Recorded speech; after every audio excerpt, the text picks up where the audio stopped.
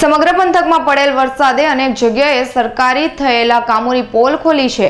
ત્યારે કાલાવાડ તાલુકાના નિકાવા ગામે ખેતરમાં નાખવામાં આવેલ સૌની પાઇપની લાઈન ખેતરમાંથી બહાર નીકળતા ભ્રષ્ટાચાર થયો હોવાનો પુરવાર કરીને તંત્રની પોલ ખોલી છે. સરકારશ્રી દ્વારા છેવાડાના માનવી સુધી પાણી પહોંચાડવા માટે કરોડોના ખર્ચે સૌની યોજનાની જીવનમાં આશરે છ ફૂટ ઊંડી પાઇપલાઇન નાખવામાં આવી છે.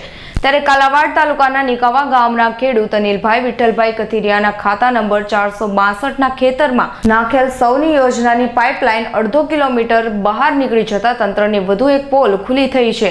થોડા સમય પહેલા કાલાવાડના જ નિકાવા નજીક આવેલ ધાંધલ પીપળિયા ગામે પણ ખેડૂતના ખેતરમાંથી સૌની યોજનાની પાઇપલાઇન બહાર નીકળતા ખેડૂતોને નુકસાની વેઠવાનો વારો આવ્યો હતો. ત્યારે ફરી વખત નિકાવાના એક ખાતેદારના ખેતરમાંથી સૌની યોજનાની પાઇપલાઇન જમીનમાંથી બહાર નીકળ્યાની સાથે જ તંત્રની પોલ વધુ એકવાર છતી થયેલ જોવા મળી છે.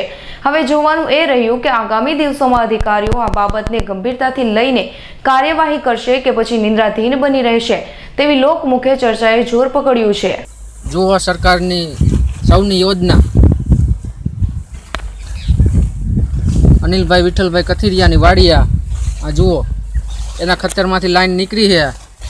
બસો ત્યાસી મીટર લાંબી છે આખા આખી એના ખેતરની લાઈન આ દૈસા જુઓ તમે. બસો ત્યાસી મીટર લાંબી આ ખેતરમાં હે લાઈન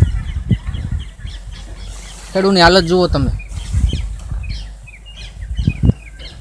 જુઓ, આમાં અમારે મગફળી લેવા કેમ જાવી? અડધી મગફળી દબાઈ ગઈ છે આમાં. વીઘે ચાલીસથી પિસ્તાલીસ મણનો ઉતારો છે. એક બાજુ આ વરસાદને લીધે મગફળી અને એક બાજુ આ તંત્ર.